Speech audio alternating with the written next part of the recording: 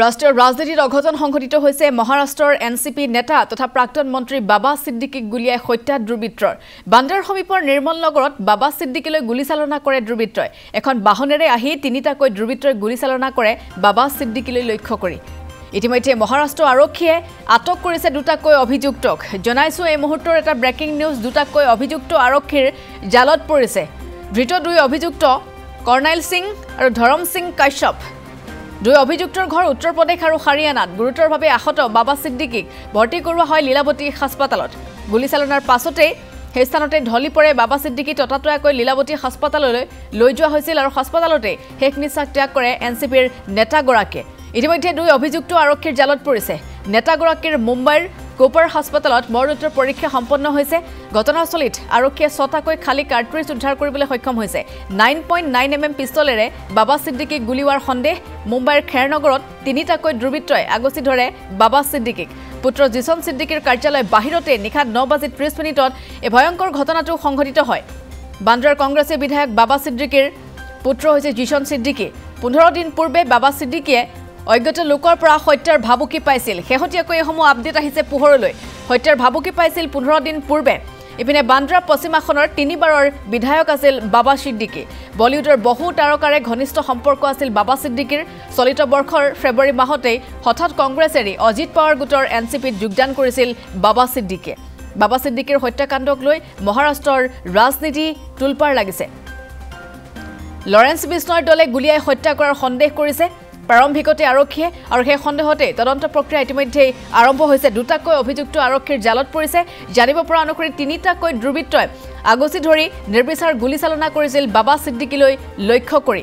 নিশা ন বাজি ত্ৰিছ মিনিটতে মুম্বাইৰ দৰে এখন চহৰৰ বান্দ্ৰাত এই ঘটনাটো সংঘটিত হৈছিল। এই ঘটনা এতিয়া জোকাৰি গৈছে ৰাষ্ট্ৰীয় ৰাজনীতিৰ প্ৰেক্ষাপট। তিনিটাকৈ দুৰ্বৃত্তৰ দুটা অভিযুক্ত আৰক্ষীৰ জালত পৰিছে। ৰাষ্ট্ৰীয় ৰাজনীতিত সংঘটিত হোৱা এই অঘটনে এতিয়া মহাৰাষ্ট্ৰৰ ৰাজনীতি জোকাৰি গৈছে। এন চি পিৰ নেতা তথা প্ৰাক্তন মন্ত্ৰী বাবা ছিদ্দিকীক গুলীয়াই হত্যা কৰিলে শূন্য দূৰত্বৰ পৰা দুৰ্বৃত্তই। আমি দৃশ্য আপোনালোকক দেখুৱাইছোঁ দুটাকৈ অভিযুক্ত। টেলিভিশ্যন স্ক্ৰীণৰ আপোনালোকে সোঁফালে দেখিবলৈ পাইছে এই দুটাকৈ অভিযুক্তক আৰক্ষীয়ে গ্ৰেপ্তাৰ কৰিবলৈ সক্ষম হৈছে। আনটো অভিযুক্তৰ সন্ধানত আৰক্ষী নামি পৰিছে। বান্দ্ৰাৰ সমীপৰ নিৰ্মল নগৰতে বাবা ছিদ্দিকীলৈ গুলীচালনা কৰিছিল দুৰ্বৃত্তই।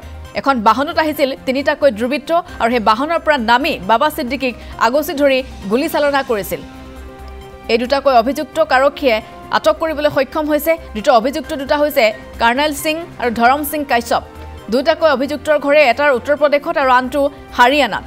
কিহৰ বাবে হত্যাকাণ্ড সংঘটিত হ'ল সেই সন্দৰ্ভত তদন্ত আৰম্ভ কৰিছে আৰক্ষীয়ে গুৰুতৰভাৱে আহত হৈছিল প্ৰথম অৱস্থাত সেই স্থানতে ঢলি পৰা বাবা ছিদ্দিকীক লীলাৱতী হাস্পাতাললৈ ততাতৈয়াকৈ লৈ যোৱা হৈছিল যদিও চিকিৎসকে মৃত ঘোষণা কৰে এন চি পিৰ নেতাগৰাকীক। কোফাৰ হাস্পাতালত পৰৱৰ্তী সময়ত মৃতদেহ মৰণোত্তৰ পৰীক্ষা সম্পন্ন কৰা হৈছে। ছটাকৈ খালী কাৰ্ট্ৰিজ উদ্ধাৰ কৰিবলৈ সক্ষম হৈছে। নাইন পইণ্ট নাইন এম এলৰ কাৰ্ট্ৰিজ বুলি সন্দেহ কৰিছে।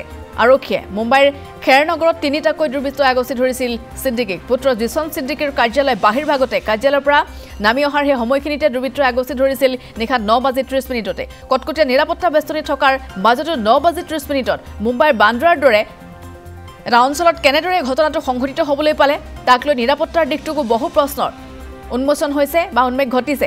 বিভিন্নজনে প্ৰশ্ন কৰিছে নিৰাপত্তাৰ ব্যৱস্থাক লৈ। বান্দ্ৰাৰ কংগ্ৰেছী বিধায়ক আছিল। তিনিবাৰকৈ পোন্ধৰ দিন পূৰ্বে বাবা ছিদ্দিকীলৈ অজ্ঞাত লোকৰ পৰা হত্যাৰ ভাবুকিও আহিছিল।